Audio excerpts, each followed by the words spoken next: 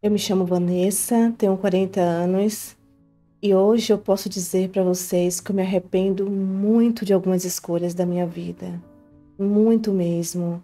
Principalmente por não ter sido uma mãe, uma mãe de verdade. Hoje a minha filha não quer nem olhar na minha cara. A minha filha me odeia. Essa é a verdade. E sabe o pior? É que ela tem razão. A mãe que eu fui para ela nesse último ano, gente, eu fui pior que uma inimiga. Hoje, graças a Deus, eu me arrependo de tudo. Hoje eu consigo enxergar. Eu estava cega. Mas nem sempre tudo isso, nem sempre o arrependimento pode consertar os nossos erros.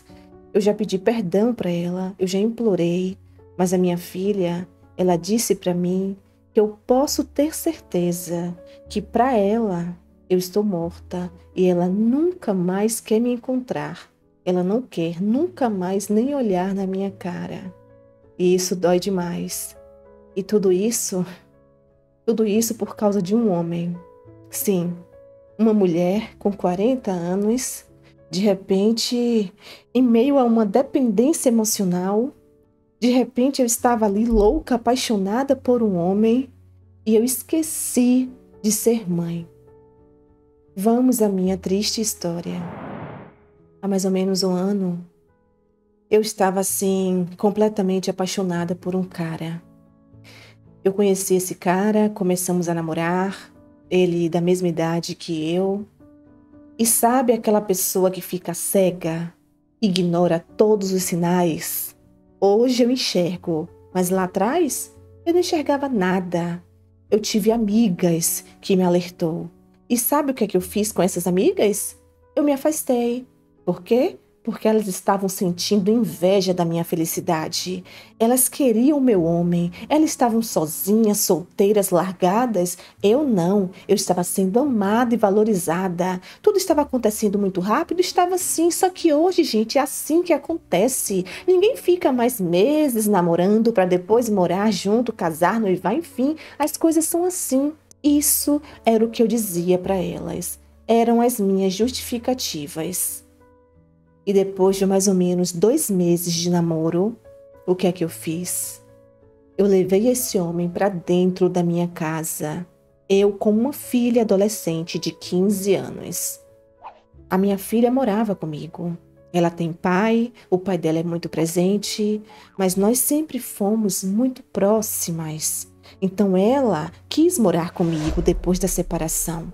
E ela ia passar finais de semana com o pai, férias, alguns momentos, porque o pai mora em outra cidade, mas ele sempre se fez presente. Não demos certo como marido e mulher, mas somos colegas e ele seguiu sendo um pai exemplar.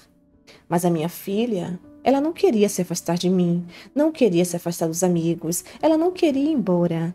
Pelo menos não antes desse meu novo namorado.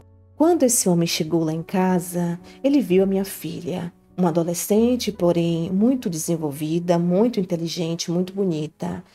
Ela sempre foi aquela menina que sempre pensou lá na frente, sempre olhou para frente, cheia de muitos planos, de projetos, uma menina inteligentíssima, muito inteligente mesmo, sempre foi o meu orgulho. Ele conversou com ela, se apresentou, Disse que também tinha um filho, que depois iria trazê-lo para ela conhecer, que os dois poderiam ser amigos, aquela conversa toda. A minha filha tratou ele bem, foi gentil, eu fiquei feliz com essa conversa dos dois. E foi por isso que logo depois eu o convidei para morar comigo, porque para mim os dois tinham ficado ok. A minha filha não ia causar problemas por causa disso. Ela sempre torceu por minha felicidade.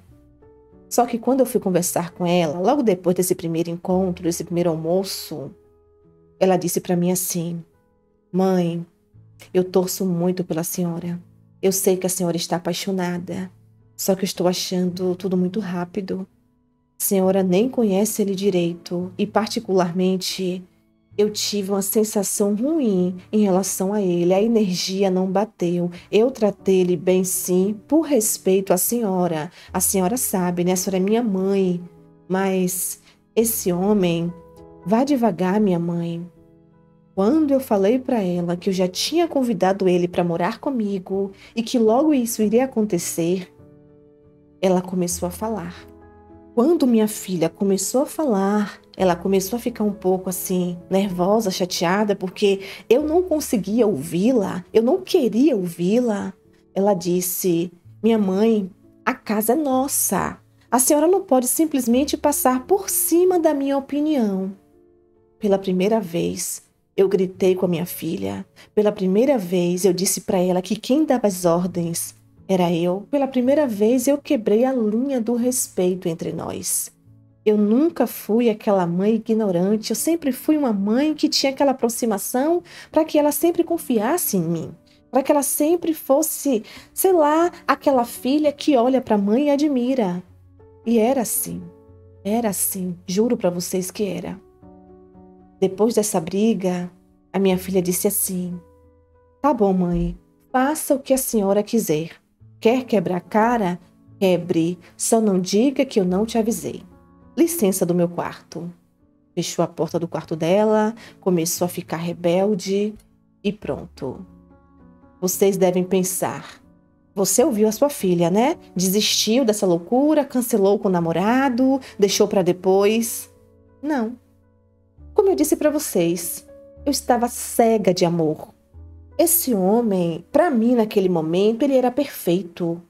Ele me levava às nuvens, me tratava muito bem, era um homem que tinha, sabe, aquele homem que fazia a gente se sentir lá em cima, ele me colocava lá no topo. Era um homem que tinha uma condição financeira boa também. Ele me convidou para morar na casa dele. Só que aí eu disse: a minha filha não vai querer sair. Eu não vou deixar minha filha. Faz o seguinte, você vem morar comigo, porque ele disse para mim. Ele queria algo sério, ele não estava mais afim de ficar de namorinho. Se eu não quisesse, ele iria procurar alguém que estivesse disponível para isso. Então tudo foi muito rápido mesmo. Ele foi morar comigo, mesmo contra a vontade da minha filha. Pronto, meu namorado em casa, agora marido, praticamente marido, a minha filha também. Ele chegou em nossa casa, o clima estava pesado, eu estava sem jeito de falar para ele o motivo. Eu não queria dizer para ele que a minha filha não tinha gostado dele e que ela não queria que ele estivesse ali.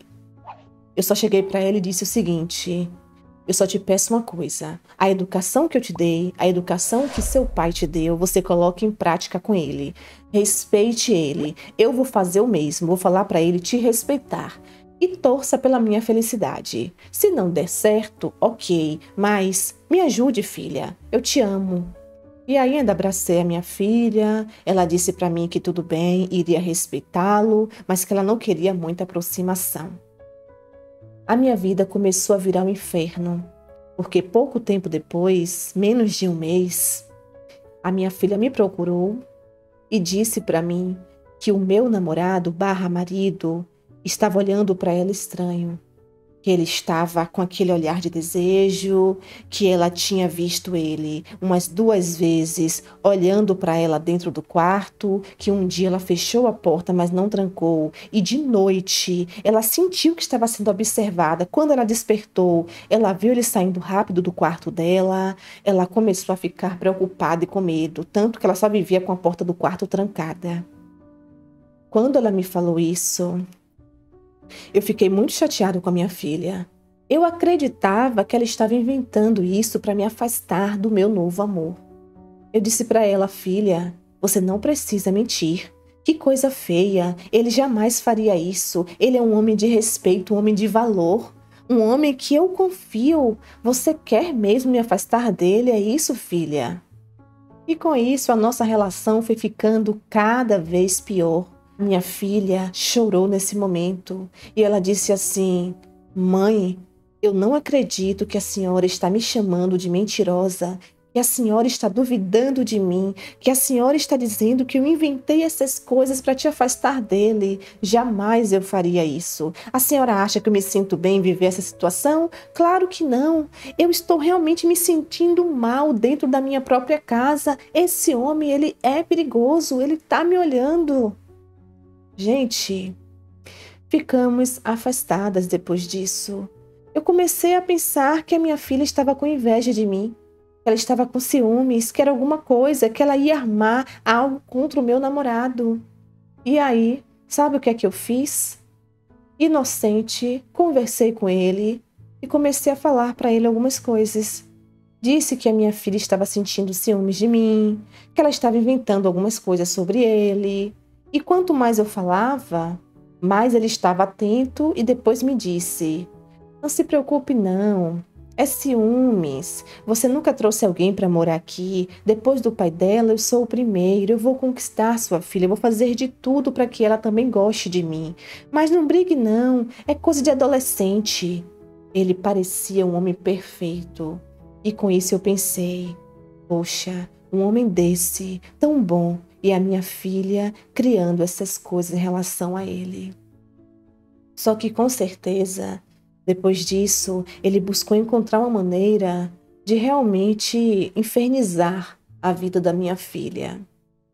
E teve um dia que ele passou de todos os limites. Eu estava trabalhando e nós marcamos de jantar fora. Ele me ligou, disse que ainda estava no trabalho, que iria se atrasar, mas que a nossa reserva era para as 19 horas e que eu tinha que chegar para ficar na mesa e que depois ele chegaria, que eu tinha que esperar por lá. Tá bom. Fui para o jantar, fui para esse restaurante. Só que não. Ele não foi para o restaurante. Ele fez tudo isso de maneira proposital porque ele queria ficar em casa, sozinho com a minha filha. Eu estaria longe e com isso ele poderia conversar com ela, fazer o que ele bem quisesse por minhas costas. Hoje eu tenho uma visão sobre tudo isso, tá? Lá atrás não. Lá atrás eu estava acreditando na historinha dele. Pois bem, nesse dia eu recebi uma ligação da minha filha que conseguiu correr para dentro do banheiro, se trancar e gritando, desesperada, ela dizia: Minha mãe, onde a senhora está? Corre para casa, o seu namorado está tentando me fazer mal. Eu corri, estou trancada no banheiro. Corre para casa agora, pelo amor de Deus. E eu, sem entender: Como assim? Meu namorado está no trabalho. A minha filha está inventando coisas. Ela continua inventando coisas. Ah, ela já passou dos limites. Eu terei que conversar seriamente com o pai dela. Peguei e disse o que para ela? Filha, pare de inventar coisas. Você segue brincando? Ela disse: Não, minha mãe, eu não estou brincando. Corre aqui para casa. Desligou o telefone e depois ela começou a gritar, né, que tinha ligado para mim e que estaria ligando para a polícia. Isso ela gritou dentro de casa e depois ela contou para o pai. Eu liguei para o meu marido. Liguei uma vez, o telefone chamou, chamou até cair na caixa, ele não atendeu. Dei um minutinho, liguei de novo. Quando ele atendeu dessa vez, disfarçando, eu acho que ele se afastou do barulho e eu disse para ele: Onde você está? E ele me disse: Estou no trabalho. E eu falei: Caramba, a minha filha, ela vai ser punida. Por que, meu amor? E eu contei para ele. Ela me ligou desesperada, dizendo que você estava dentro de casa, atrás dela, tentando fazer mal para ela. E ele começou a dizer que era mentira, que realmente a minha filha estava passando de todos os limites, que agora ele acha que eu tenho que tomar uma atitude e fez aquela lavagem cerebral em mim. Amor, estou chegando daqui a pouco, tá? Me espera aí, já estou pertinho. Desligou o telefone e ele foi para o restaurante me encontrar. Quando estamos jantando, ele chegou como se nada tivesse acontecido, tá? Quem ligou para mim? O meu ex, o pai da minha filha. Esse homem me ligou dizendo que estava pegando o avião imediatamente, que estava indo buscar a nossa filha, que eu sou maluca, que ele ia tomar a guarda dela. Ele começou a dizer que ele não estava acreditando que eu tinha colocado a nossa filha em risco. Como é que eu coloquei um homem estranho dentro da nossa casa? Que loucura é essa? A nossa filha acabou de me ligar dizendo que o seu macho tentou abusar dela dentro da sua casa onde você estava. E eu comecei a brigar com esse homem. Tive que sair do restaurante, um restaurante chique. Foi uma confusão ao telefone. Eu disse para ele que era invenção dela, que ela estava naquela fase de aborrecência extrema. E ele disse: Não, não é possível que eu esteja falando com a mesma mulher que eu casei no passado, que era uma mãe tão protetora, uma mãe que dava vida pela filha. Você perdeu o juízo, hein? Não se preocupe, eu estou indo por aí. Meu Deus. Que situação, que situação totalmente fora do comum. Contei tudo para o meu marido, que ficou totalmente revoltado com a situação. Nessa hora, ele começou a se fazer de vítima, disse que assim ele não voltaria para nossa casa, que naquela noite seria melhor ele dormir na antiga casa dele, que eu devia voltar, conversar com a minha filha, conversar com o pai dela e só depois a gente poderia conversar. Gente, foi a pior madrugada da minha vida. Quando eu fui para casa, a minha filha seguiu trancada dentro do quarto. Ela começou a gritar para mim tudo o que tinha acontecido através da porta. Ela não quis abrir de forma nenhuma. Ela disse que só sairia dali quando o pai dela chegasse. E quando o pai chegou, meu Deus do céu, esse homem só faltou chegar lá com o juiz, com a polícia, com o delegado, com tudo para levar nossa filha. E quem disse que eu queria autorizar? A minha filha saiu do quarto e disse: Minha mãe, me perdoe, eu estou indo com meu pai, eu vou deixar tudo para trás, eu não quero saber dos meus amigos, eu não quero saber de escola, eu não quero saber de nada. Sabe por quê? Eu perdi o bem mais precioso, a mãe que eu tinha. A senhora não acreditou em mim e quase que acontece uma tragédia aqui dentro dessa casa. O seu marido, ele é um monstro. A senhora não deu ouvido a tudo que eu contei para a senhora lá atrás e a senhora parece que está cega, parece que a senhora ainda acredita nele. E eu tentando resolver, tentando fazer todo mundo ficar um pouco mais calmo, mas não. Meu marido disse que iria sair dali direto para a delegacia, que a minha filha ia prestar queixa. Eu comecei a implorar, disse que não, que eu estava feliz, que eu ia conversar com meu marido, que tinha alguma coisa mal entendida. Eu acreditava na minha filha sim, mas eu queria ouvir a explicação dele. Por favor, não façam isso. Vocês estão me prejudicando. Eu estou tão feliz, tão apaixonada. E assim a minha filha disse: Minha mãe, eu não acredito que a senhora está cega a esse ponto. Eu não acredito.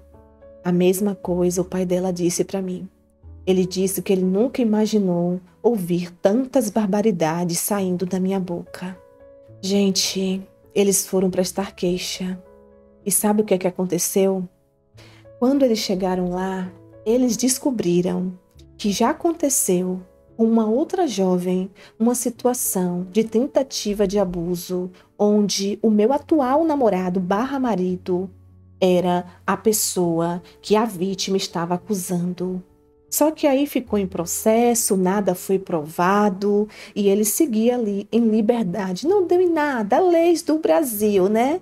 Só que quando meu marido se deparou com essa realidade, ele disse: Pronto, realmente a minha ex casou com um monstro. Ela está cega, totalmente cega. Ele me informou isso. Ele disse, ele mandou para mim todas as informações. E ainda assim, eu não quis acordar. Eu estava realmente assim, alucinada. A minha filha foi embora com o pai. E as últimas palavras dela ainda dói me, ainda faz o meu coração sangrar, sabe? Ela disse para mim, a partir de hoje, eu não tenho mais mãe. Porque na verdade a minha mãe morreu um pouco antes de conhecer esse homem. A minha mãe morreu a partir do momento que passou a duvidar de mim. A minha mãe morreu a partir do momento que priorizou um cara que acabou de conhecer. Parece que a senhora sofreu uma lavagem cerebral, porque se alguém me conta uma situação dessa, eu não acredito. Eu não acredito que uma mulher como a senhora se permitiu ficar tão alucinada por um cara como ele. Parece que ele fez alguma coisa, parece que ele abriu a sua cabeça e mudou aí o seu HD. Não é possível. Deu as costas para mim, e foi embora com o paizinho dela. Que dor, que dor, meu Deus. Como eu gostaria de voltar atrás e fazer diferente. Só que eu não fui dormir. Eu fui atrás do meu amor. Mesmo desesperada, eu fui atrás dele. Quando eu cheguei na casa dele, ele abriu a porta para mim, todo revoltado, todo chateado, começou a dizer que foi um erro, o nosso relacionamento foi um erro, eu não sabia que você tinha uma filha problemática, que tinha um ex, esse ex seu me ligou, me ameaçou, disse um monte de coisas, eu vou até procurar um advogado, começou a falar que eu sou um abusador e blá blá blá. Começou a se fazer de vítima, aquela vítima. Ele disse que o meu ex prometeu para ele que isso não ia ficar assim que ele se preparasse. E eu tentei acalmá-lo. Mas aí, de repente, eu fiz uma pergunta para ele. Eu disse assim: Amor, eu não vou te julgar, mas o que, que aconteceu? Por que, que você disse que estava no trabalho, mas na verdade você estava na nossa casa? E aí ele veio com uma história totalmente diferente que ele passou em casa porque ele tinha esquecido alguns cartões, que ele foi buscar, que ele não queria me preocupar. E quando chegou lá, a minha filha começou a se insinuar para ele que ela estava provocando ele há muito tempo e que ele, a verdade é que ele é de carne e osso, que ele não é uma criança. E diante daquilo ali, ele tentou realmente correspondê-la. Mas aí ela se fez de difícil e começou a gritar, começou a fazer um escândalo e me colocou como um culpado, sendo que eu era vítima. Essa é a verdade, se você quer saber. Eu estou sendo aberto com você e é tudo isso que eu vou passar para o meu advogado, tá? Eu não estou nem aí se é a sua filha ou não. A verdade é que ela é uma piranha. Gente, ouvir tudo isso saindo da boca dele fez eu despertar fez eu acordar. Ele me fez enxergar naquele momento que a minha filha estava com razão e era tarde demais para mim. Eu comecei a brigar com esse homem, eu comecei a dizer para ele que ele era um monstro, que a minha filha jamais faria isso. Que história é essa? Pelo amor de Deus, a minha filha não tem esse perfil. E com isso, ele jogou na minha cara que, na verdade, ele estava comigo mais pela minha filha, que a minha filha era uma delícia, eu nem tanto. Eu fiquei com medo dele. Confesso para vocês que eu senti medo desse homem. Ele começou agir de uma maneira monstruosa, tinha ódio no olhar dele. Parecia que ele queria me culpar por alguma coisa, ele queria me culpar por ele não ter conseguido fazer o que ele queria fazer com a minha filha. Só que nessa hora eu fui burra. Eu nunca imaginei ouvir tantas barbaridades dele e por isso eu não tinha pegado no celular para colocar para gravar. Tudo isso que ele me disse ficou o dito pelo não dito. Era minha palavra contra dele. Eu não tinha uma prova, eu não tinha uma gravação. Ele começou a me chamar de louca. Depois, ele voltou atrás, disse que eu estava falando coisa que ele não disse, que não saiu da boca dele, que eu estava maluca, neurótica e que ele queria que eu saísse da casa dele, que eu era uma louca varrida, o nosso relacionamento tinha acabado. Esse homem, realmente, ele acabou com a minha vida. Ele me fez perder o meu bem mais precioso, que é a minha filha. Em seguida, eu liguei para o meu ex, que não quis me atender. Só no dia seguinte que ele retornou a ligação, eu pedi perdão para ele, contei tudo o que tinha acontecido. Ele disse que eu devia ir até a delegacia para reforçar, né, tudo que ele havia dito lá. Eu fiz isso, eu fui, contei toda a verdade. Só que eu achava que depois disso a minha filha iria me perdoar. Ela ia entender que eu também fui uma vítima nisso tudo. Ela ia voltar atrás, ela voltaria para mim, para nossa casa. Eu disse para o pai dela que eu queria conversar com ela, que eu estava indo até a cidade dele. Ele disse que não, que nesse momento a filha dele não queria me encontrar ele já tinha marcado uma terapia muito boa para ela, com uma profissional muito boa, que ela iria se cuidar, se tratar e quando e se ela desejasse conversar comigo, ele falaria comigo. Caso contrário, não, nem pensar que eu tinha que respeitá-la. Não foi fácil o que ela viveu. e realmente não fui. A minha filha realmente não quis falar comigo e até hoje segue distante. Ela mandou só um recado pelo pai, disse que ela não quer ouvir a minha voz, que não adianta eu comprar outro chip para mandar mensagem, que ela não vai me responder. E para ela, tudo foi muito difícil. Ela sente muito por tudo, ela sente sim por eu ter sido enganada, só que eu era uma mulher adulta, eu sou mulher adulta. Ela não consegue acreditar que eu estava realmente tão cega ao ponto de não acreditar nela. Enfim, meus amores, em resumo, eu perdi a minha filha, eu perdi o amor dela, a confiança dela, ela segue com o pai, ela não quer me ver. Não adianta eu querer lutar pela guarda dela na justiça, porque eu sei que eu já perdi. E ela está com o pai, um homem de verdade, um homem direito, um homem de valor. E eu sei que realmente ela está segura com ele, porque comigo ela não estava. Essa é a minha história. Olá, meus amores, como vocês estão? Espero que bem. Sejam todos muito bem-vindos ao nosso canal. Amiga, obrigada pela confiança, obrigada por você compartilhar conosco essa sua experiência de vida nada positiva. Eu quero começar dizendo que eu fico feliz em saber que você acordou, tá? Que você despertou, que você saiu dessa bolha. Pelo que eu entendi, minha querida, você estava em uma carência extrema, profunda. Você tinha aí algum tempo, já alguns anos sem ninguém. Depois que acabou o seu casamento, você teve alguns relacionamentos bem básicos, nada sério. E de repente você conheceu esse cara que para você era um príncipe. E você, em questão de dois meses, levou esse homem para dentro da sua casa. Meu amor, que perigo! Um perigo extremo para sua filha e também para você. Por mais que você estivesse apaixonada, você realmente perdeu toda a sua razão muito rápido. Você era alguém admirável, Assim você hoje realmente enxerga isso. A sua filha te admirava muito. Você sempre foi alguém muito inteligente. Então, de repente, esse homem conseguiu te dominar ao extremo. Realmente eu entendo a sua filha. Você acabou colocando a vida da sua filha em risco. Ou melhor, a sua filha passou por uma tentativa de abuso que de fato, ela não precisava e não merecia passar, porque ninguém merece. Eu sempre digo aqui, a partir do momento que nós colocamos filhos nesse mundo, lembrando que ninguém é obrigado a colocar filhos no mundo, quando colocamos filhos, temos que entender que a nossa vida tem que mudar.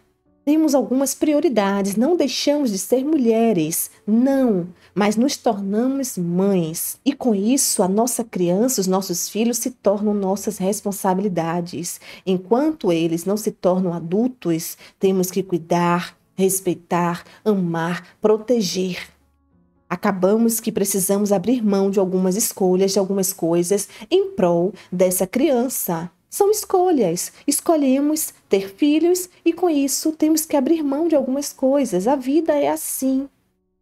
Eu não estou dizendo que você não podia se relacionar com ninguém. Não é isso. Não entendam assim. Só que é preciso ter cuidado. Você tinha tanto tempo, meu amor, solteira. Por que que você não podia apenas namorar, conhecer, e lá no futuro, talvez casar com esse homem. A sua filha já estaria maior de idade, teria independência dela, iria seguir a vida dela e não estaria passando por uma situação tão monstruosa como essa. Mas não. Você realmente, meu amor, ignorou todos os sinais? Você esqueceu a mãe que você sempre foi? Você esqueceu da filha que você tinha? E esse homem ele conseguiu perceber que você tinha essa carência extrema, ele foi te conquistando e pelos bastidores ele estava tentando fazer o pior com a sua filha, uma garota inocente no meio de tudo isso. Graças a Deus, ela conseguiu fugir dele.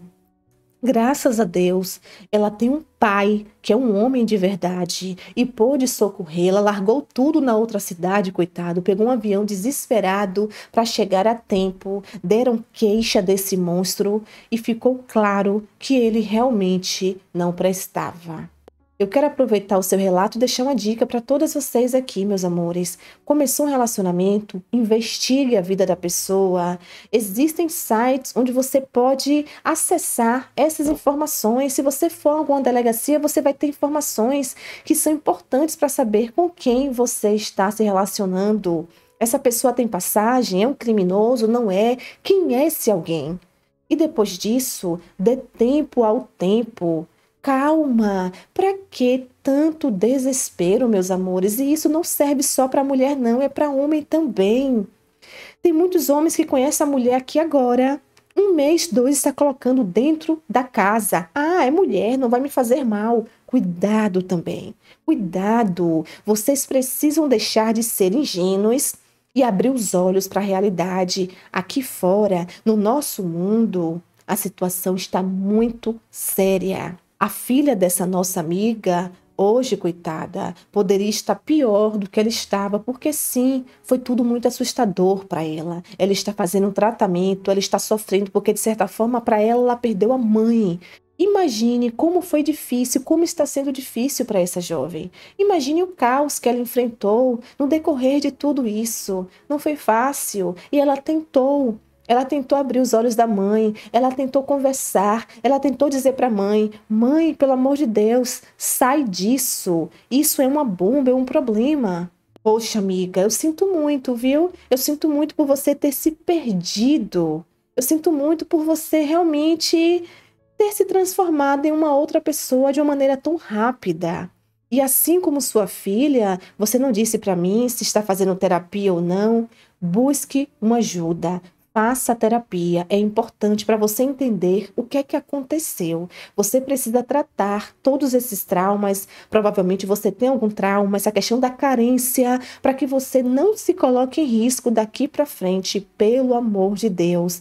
De qualquer maneira, minha linda, eu te agradeço pela confiança, eu te agradeço pela coragem de expor tudo isso. Eu tenho certeza que você realmente agora já reconheceu todos os seus erros, todas as suas escolhas. Esse homem é um monstro. Eu espero que ele seja preso, que ele pague pelo crime dele, que ele não faça mais isso com ninguém. Uma pessoa terrível, uma pessoa que, meu Deus do céu, causa repulsa na gente.